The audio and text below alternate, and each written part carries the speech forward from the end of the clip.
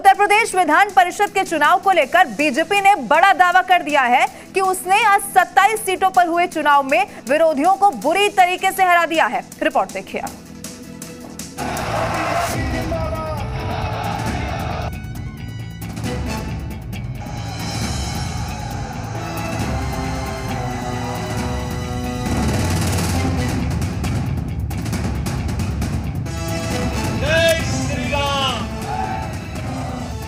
मोदी योगी का चला जादू, मातम मनाए बीजेपी विरोधी।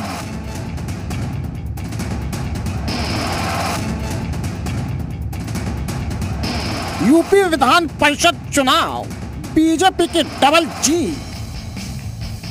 लगता है एक महीने के अंदर उत्तर प्रदेश में बीजेपी योगी सरकार के नेतृत्व में अपने विरोधियों को हार का डबल डोज देने जा रही है। आज यूपी के विधान परिषद यानी एमएलसी के चुनाव हो रहे हैं। खुद सीएम योगी ने वोट डालकर अखिलेश यादव की समाजवादी पार्टी समेत सभी विरोधियों को चित करने का दावा कर दिया है। बीजेपी डंके की चोट पर कह रही है कि इस बार यूपी विधान परिषद के चुनाव में बीजेपी विरोधियों का सुपड़ा साफ़ हो जाएगा। यूपी के डिप्टी सीएम केशव प्रसाद मौर्य ने प्रयागराज में दावा किया कि बीजेपी विधान परिषद की सभी 27 सीटों पर जीतने जा रही है। पूरा विश्वास रखते हैं कि सभी 27 सीटें हम लोग जीतेंगे। और विधान परिषद में भी विधानसभा की तरफ़ प्रचंड बहुमत के साथ प्रदेश के विकास में पूरी हमारी सरकार समर्पित रहेगी। हम आपको बता दें कि आज 9 अप्रैल को यूपी विधान परिषद यानी एमएलसी के चुनाव हुए हैं। उत्तर प्रदेश विधान परिषद की 36 में से 27 सीटों पर मतदान हुआ है, जबकि 9 सीटों पर बीजेपी के अलावा दूसरी पार्टियों के प्रत्याशी मैदान में उतरे ही नहीं।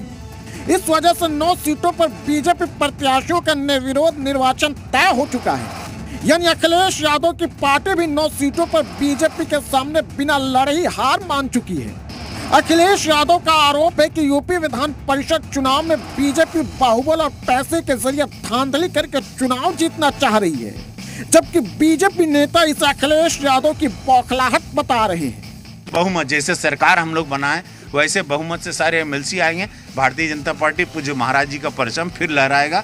मोदी योगी जी जिंदाबाद जनता चाह रही यूपी विधान परिषद चुनाव यानी एमएलसी के चुनावी नतीजे 12 अप्रैल को आएँगे। लेकिन जिस तरह से बीजेपी 36 में से 9 सीटों पर बिना लड़े ही जीत दर्ज करने जा रही है उसे देखकर ऐसा लगता है कि बीजेपी बची हुई 27 सीटों पर भी अखिलेश यादव दूसरे विरोधियों को बुरी तरह से चुनाव में हरा देगी। यानी यूपी में मोदी योगी का जादू विरोधियों को डबल हार का स्वाद चखाने जा रहा है। अब 12 अप्रैल को पता चलेगा कि बीजेपी के जीत के दावों में कितना दम है। Bureau report Zee media.